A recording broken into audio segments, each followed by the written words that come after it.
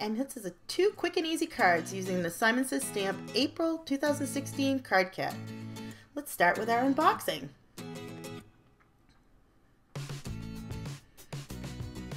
Inside this month's Simon Says Stamp box, of course, we have our idea guide and Simple Stories Life in Color plastic clips. Very cute.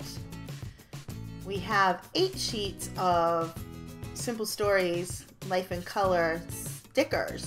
Uh, I really like these stickers and they match perfectly with the colors and the theme. It's the same theme as the clips and the paper. Love those little conversation stickers. And then we have the Simple Story 6x6 sheets of paper. Oh, and our lollipop. Really, really like the colors on this and the fact that there are things that you can cut apart, some of the squares. I love the wooden accents on some of the papers. Just a really pretty set this month. Picturing a lot of things that we can do with it this month. And of course, as always, they're double-sided. This one's my favorite. I have to admit, it's like one of my favorites with the wooden backgrounds. And then we have Simon Says Stamp Birthday Flowers Clear Stamp Set. Really like this. This is very versatile. Um, there's some background stamps in there. We've got Wild Black embossing powder. And Simon Says Stamp cardstock in Schoolhouse Red, Black, White, Cotton Candy, and Surf Blue. And the Simon Says Stamp cardstock is really sturdy.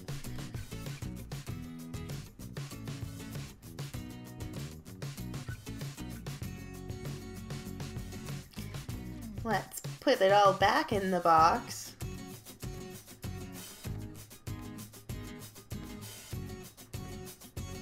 And create something pretty. Let's go.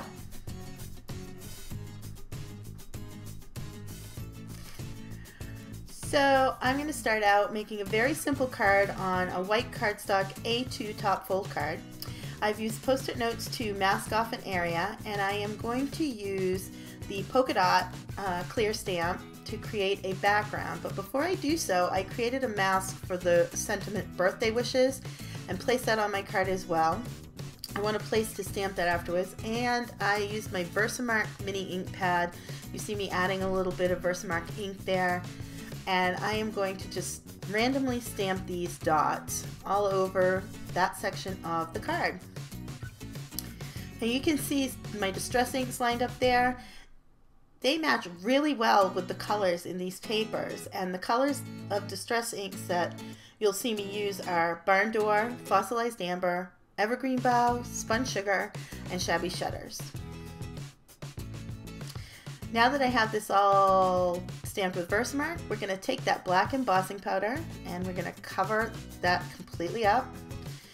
Put it into my little uh, embossing plastic container that has the spout that makes it easy to pour it back in. Love that thing. And once I've done that, I'm going to take my heat gun and heat emboss those dots. And I really love this black embossing powder, although I will state that it's a little more difficult to work with than some of the other embossing powders I've used, especially if you're doing black on white like I did.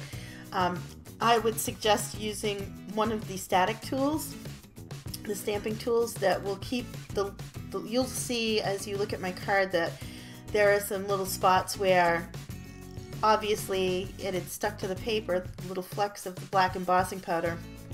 So you will want to use one of those tools if that's important to you. I really didn't care that there were some little flecks. I kind of thought it looked funky and I was alright with it. But if you want a really clear um, impression without those flecks then make sure you use that tool You'll see that I did the sentiment birthday wishes uh, in the Versamark ink and then put the black embossing powder on that as well.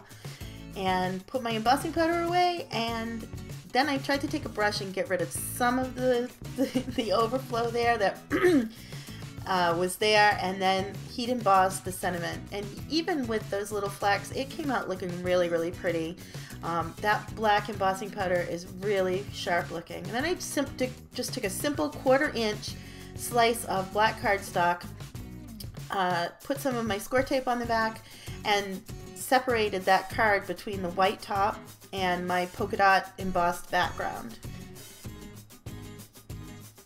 You'll see me adhere it and then I'm going to flip the card over and I'm going to just trim it with scissors.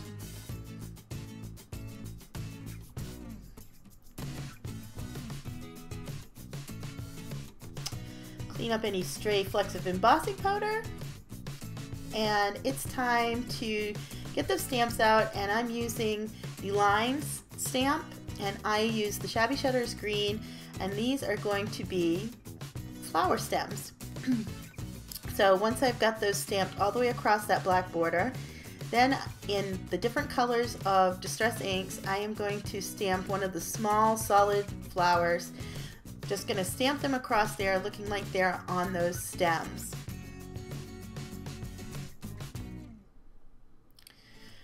After I do this bluish green with the evergreen bough, I actually create a small mask, several small masks so that I can do the spun sugar in between some of them. So I just did it with a post-it note. And then with my Memento Tuxedo Black, I'm going to take the little dot centers. Well, first I used the Shabby Shutters and did some leaves. Um, just popped in a few of the leaves with one of the small solid leaves on the top and on the bottom. And then took the dot centers for the flowers and my Memento Tuxedo Black and just added some centers to my flowers.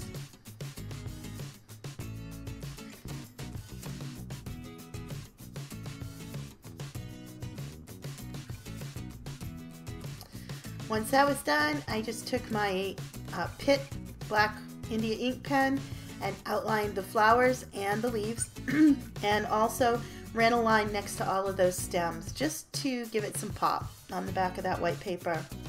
Really, really like this stamp set. Love the fact that these colors of the Distress Inks really coordinated so well with the Simple Stories Life in Color set. It, it was almost like they were meant to go together. Really pretty. So then I like to add something to the inside of my cards. So I took the large flower stamp and the spun sugar ink and I put a flower on there, took the large open leaf and shabby shutters, which there I am off the camera again. I'm still having a rough time getting uh, the placement completely right. I apologize for that. So I put some, some leaves on there as well. And then I'm going to take one of the sentiments that um, is on the black block background kind of looks like um, it's the white lettering on the black and it just says happy birthday and I'm going and I curved that. I just kind of like to do that. I like to curve it around and then use my Pitt pen again just to outline. And it says happy birthday over the flower so that when the recipient gets it not only is it pretty on the outside but it coordinates on the inside as well and I just kind of like to do that I also took my white Gelly Roll pen and touched up the happy birthday. Now on to the second card. I simply created a black, took the black cardstock and made a square or a rectangle slightly smaller than my card and then took the Simple Stories paper and I got one with the floral at, uh, with the wooden background and then the yellow diagonal paper and I just took a couple of strips and adhered them together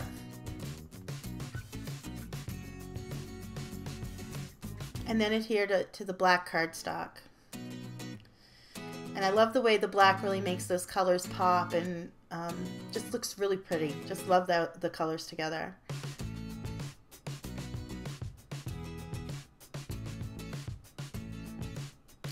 Using my score tape again, one of my favorite things to use, my score tape.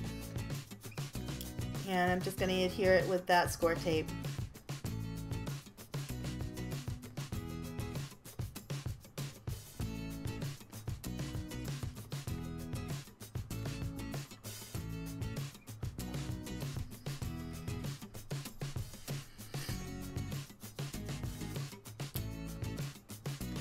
had a little bit of score tape up at the top, so I just took one of my erasers and erased and pulled at some of, at that adhesive to pull that off from there.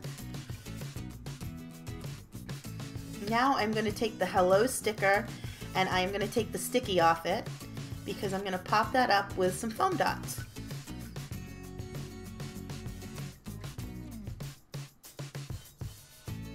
Love the looks of these stickers. They've got that hand lettered look um, that is so popular right now and is really such a cool look.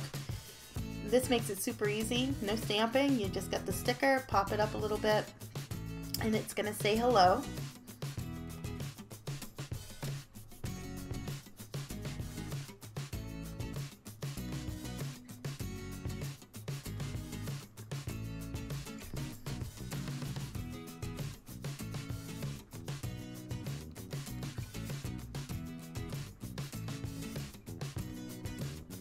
And then I just took some stickers that matched the floral and added a couple of them on there just to give it a little more pop on that black and just to coordinate it with the paper that was on the other side. And then I decided that I wanted to use a black and white baker's twine uh, addition at the bottom. So I had seen Jennifer McGuire do this. She took her um, her circle punch and she did a half circle on each side so that it fit into the side of the card and didn't slide around. Just kind of had a place to stay. And so I learned from her. I learned a lot from her.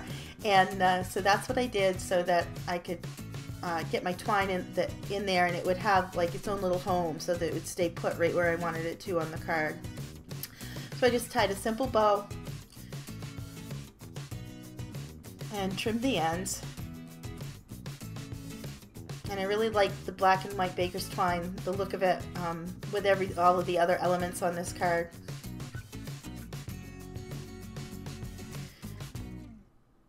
Then I took my half inch score tape this time and apply and I'm going to apply it to the back of that panel. To apply it right over the baker's twine. That's going to keep that's to help keep that in place too and keep it from moving. Just gonna pop that over that and peel off the backing and adhere it to the front of my card.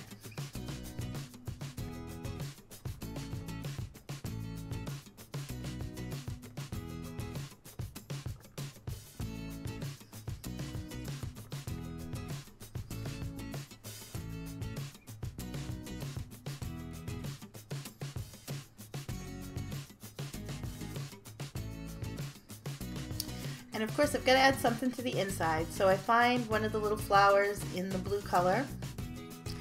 And I'm going to put that in there. And then from my Tim Holtz Crazy Talk set, I just chose a Thinking of You stamp. And I'm just going to stamp it in there with my Memento Tuxedo Black. And we've got a coordinating inside. And that's it. That's how quick and easy it was to create two cards with the April 2016 Simon Says Stamp card kit.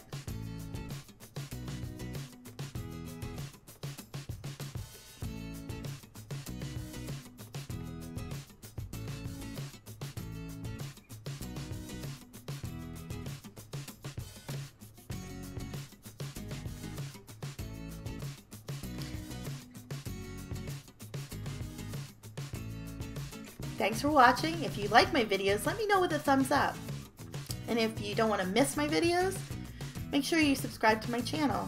And you have, if you have suggestions to, for some videos that you'd like to see, hop on over to artfulgeekgirl.com and leave me a suggestion. Also,